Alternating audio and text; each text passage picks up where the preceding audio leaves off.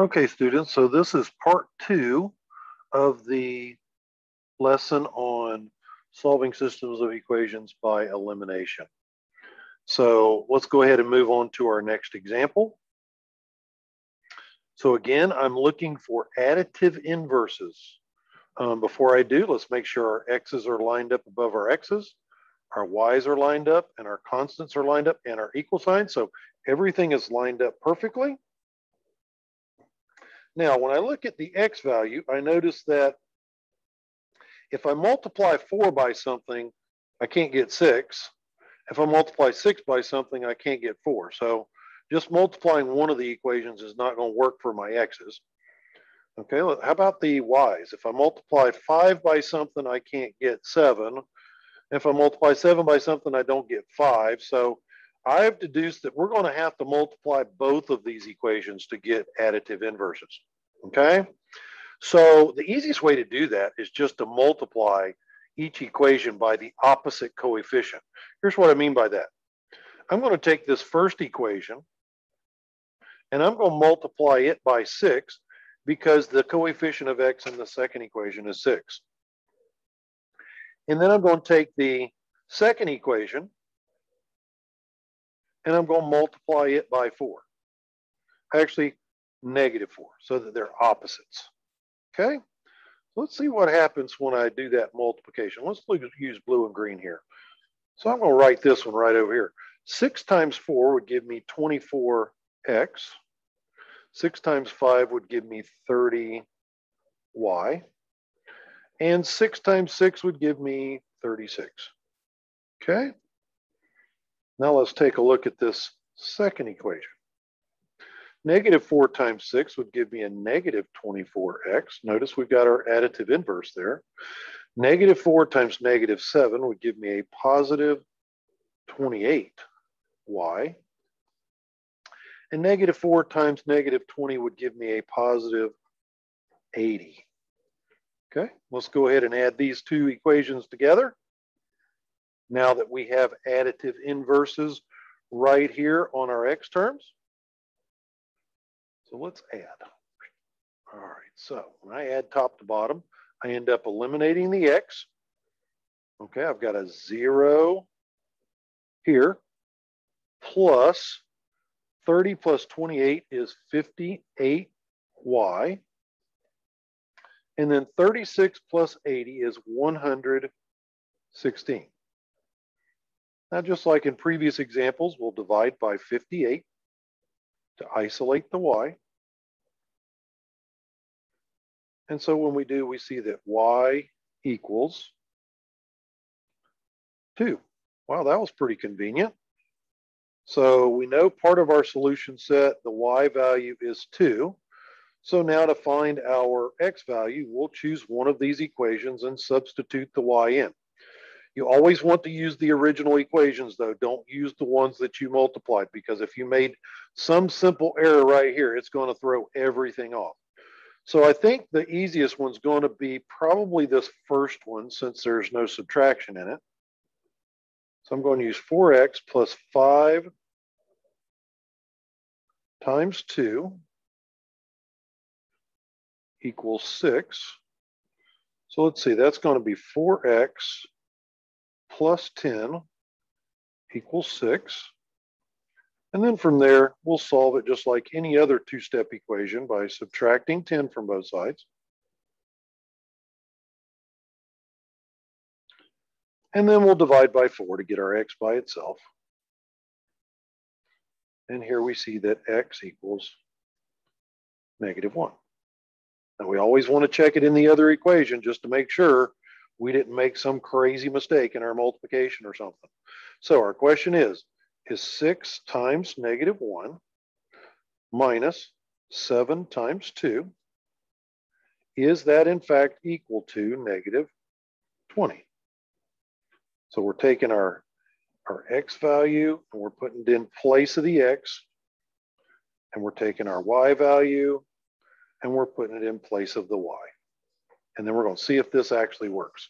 So that's going to give me negative 6 minus 14 equals negative 20. And I know that subtraction is the same thing as adding the opposite. So negative 6 plus negative 14 is, in fact, negative 20 when I add those together. So this is true. Therefore, this is, in fact, our solution. Okay. All right, let's scroll on down and take a look at a word problem. Yes, there are word problems that we have to tackle. I know you guys hate word problems, but we've got to tackle them. All right. So let's see, let's see what happens here. During their last game, the astronaut War Eagles scored seven times. Okay, that seems important. For a total of 41 points. So if I stop right there, I can already see two situations going on here where I'm going to need two different equations. Okay. I've got the number of scores is the first situation that they tell us about. And then I see the number of points is the second part of this problem that they're they tell me about. Okay, let's read on. They score seven points for each touchdown and three points for each field goal. Well, we kind of know that. If you're familiar with American football, you know that, that that that kind of information. All right, let's look at the question. Write and solve a system of equations to find the total touchdowns and total field goals. So they're wanting us to find how many touchdowns and how many field goals. Okay? So that tells me what my variables are.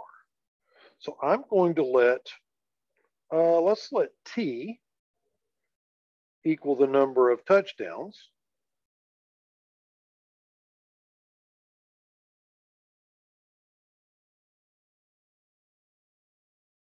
And let's let F equal the number of field goals.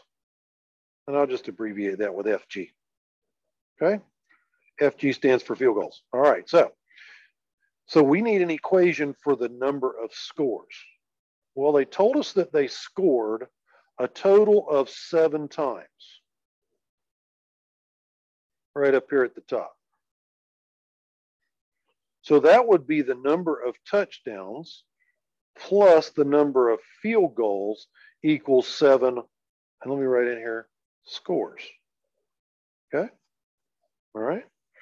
Now, the next thing we need to talk about is points. How many points did they score? Well, they scored a total of 41 points.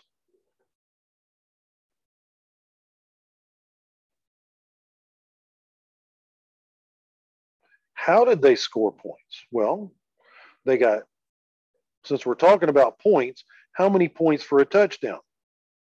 Well, they score seven points for a touchdown times T would tell me how many points total that they scored for touchdowns, 7T. And then for field goals, field goals are three points apiece. So 3F would tell me their total score for field goals. So now I've got my my two systems of, or my two equations for my system. Now I can solve it. So let's see. Um, I notice that I don't have additive inverses here. So I'm going to multiply this first equation, change color, I don't like that. We'll multiply this first equation by, let's say negative three. I think I'm gonna multiply by negative three and eliminate the F's or the field goals and just solve for touchdowns first. Okay, so when I do that, when I multiply, I'm gonna write that answer down here, by the way. Negative three times T would be negative three T. Negative 3 times f would be negative 3f, and negative 3 times 7 would be negative 21. Okay, so let's add top to bottom and see what happens. Notice I've got my t's lined up, my f's lined up, my constants, and let me put my equal sign in here. Line it up as well. Okay, so 7t minus 3t is going to give me 4t. I just eliminated my field goal, so I don't need to write that down. 41 minus 21 leaves me with 20 points. Okay, so four touchdowns equals 20 points. That means that they scored five touchdowns.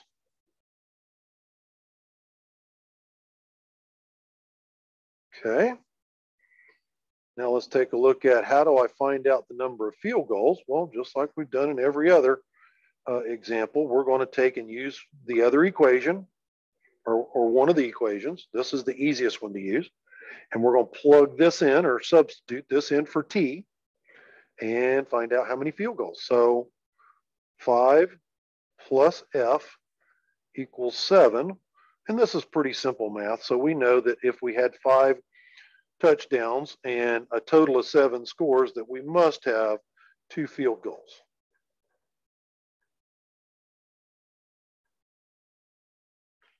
Okay.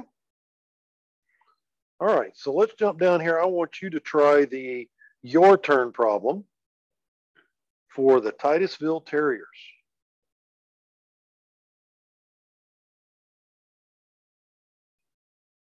Okay, so let's see how that one worked out.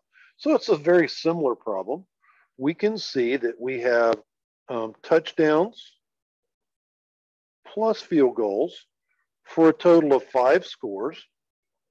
And then we have seven points for a touchdown times the number of touchdowns. That gives us the total score for touchdowns, plus three points for a field goal times the number of field goals. That tells us how many points for field goals equals 27 points. So again, to solve this, we need to multiply this by either set negative 7 or negative 3. Again, I think I'm going to do negative 3 just so that I, I can solve for touchdowns first. So when I do that and I add those together, I end up with 4t equals, kind of got ahead of myself there, didn't I? I need to multiply first. So let's see, that's going to give me a negative 3t minus 3f equals negative 15. Now let's add those together. Mr. Boyd getting a little ahead of himself. 4t equals, let's see, 27 minus 15. I believe that's going to give us 12 points difference. And then we'll divide by 4. And t equals 3. So we can see that the Titusville Terriers scored three touchdowns. And so that would mean that F would have to be 2 because, because 3 plus something is 5. So F would have to be 2. So that would be two field goals that they scored. Okay. All right, I'm gonna do one more example with you guys and then let you guys get started on some classwork. Okay, so let's see. We've got Sean and Roberta went shopping for football cleats and practice uniforms. So right here, I can see there are two things that they purchased, football cleats and practice uniforms. Okay. Let's jump down here to the question without even reading the rest. Let's see what, assuming the uniforms and the cleats cost the same amount, right? Solve an equation to find the cost. We, they want us to find the cost of one pair of cleats and one uniform. Okay. So let's see, we got Sean and we got Roberto. We need an equation for each guy. Just to make this simple, I'm going to do S for Sean and R for Roberto. And um, let's see, what do we want our variables to be? Um, let's use C equals the number of cleats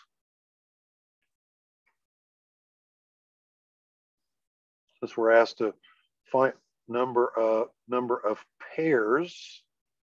Got to buy those in pairs. You can't buy a single cleat. And then let's let you be the. Uh, oh no, that's not number, is it? That we're looking for the cost. Cost for a pair of cleats and cost for one uniform. We know how many. They told us how many they bought. Okay, so for Sean, how do we put Sean's together? Well, let's see here. Sean spent $301. So now let's ask ourselves, how did he get to $301? Well, he bought one pair of cleats. That's his total cost for the cleats. Plus, he bought two uniforms. So that'd be 2U. Okay? Now let's see. How did Roberto spend? Okay, he spent four hundred seventy-six dollars and seventy-five cents. Wow, he must have bought a little bit more. And we see that he actually did. He bought two pair of cleats plus three uniforms. Okay. So let's see. We need to do this is in in in the right form to do elimination. So um, I think I'm going to multiply this first equation by negative 2. And when I do that, I get negative 2c minus 4u equals, let's see, negative 602. Now, this is going to look kind of weird to start with, um, but trust me, it'll work out. Okay, so let's add top to bottom. Let's see, that eliminates our C's. So I have a negative U equals, oh boy, I don't know what that is right off the top of my head. Let me get my calculator out here. Okay, so let's see, what was that problem actually? I want 476.75 minus 602, and that gives me $125.25.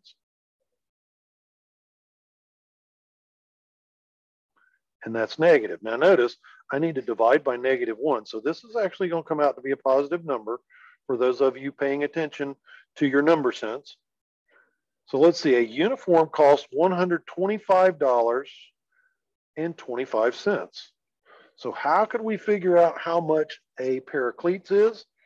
Well, I'm going to come back up here because this is 1C and that's the easiest thing. I won't have any division when I solve it. So 1C plus two uniforms at $125.25 a piece is going to equal $301. Well, let's see. C plus two times $125.25. That's $250 and excuse me, and I'm making a mess of that, and 50 cents. Okay, so now to solve this, we'll just subtract our 250 and 50 cents from both sides. Again, I'll pull my calculator out. I've got, let's see, I've already got my negative. Let's do that times two to get the 250. And then I'll just simply add that to the $301. And that gives me that a pair of cleats was, oh, I already lost that number, $50 and 50 cents. Okay, so cleats are $50 and 50 cents. Um, uniforms are $125 and 25 cents. Okay, guys, go ahead and try the your turn problem and then uh, and then check it.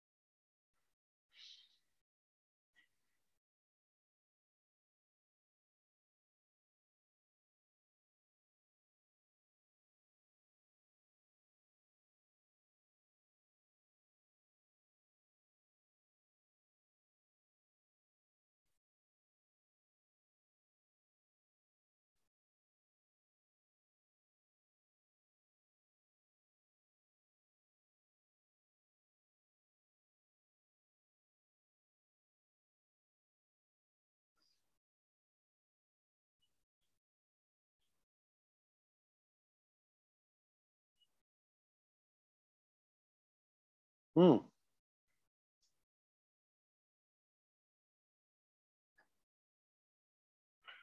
So I see this one ends up being zero equals zero, which means there are infinite solutions to this system. All right, guys. Again, if you uh, got something out of today's video, click subscribe. If If you click the bell, you'll get notifications for other videos that I put out there on the web. Thanks for watching. And as always, have a great day.